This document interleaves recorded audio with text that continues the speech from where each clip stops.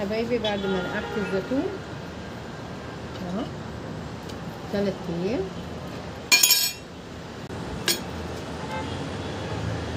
نحط الفلفل الاحمر.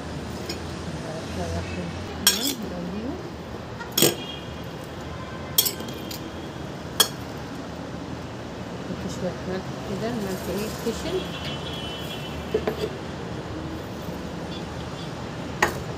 بسم الله.